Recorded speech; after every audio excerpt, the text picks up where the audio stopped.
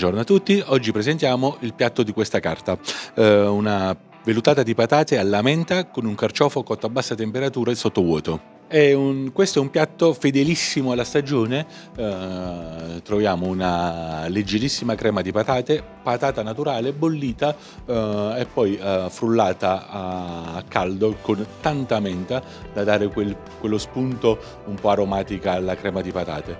Il carciofo invece viene semplicemente pulito, svuotato come d'abitudine, come ogni bollettore nelle sue capacità, lo e va cotto in, a bassa temperatura, va cotto in uh, sottovuoto uh, con del condimento olio, aglio, vino bianco, sale pepe e per uh, 60 minuti a 56 gradi.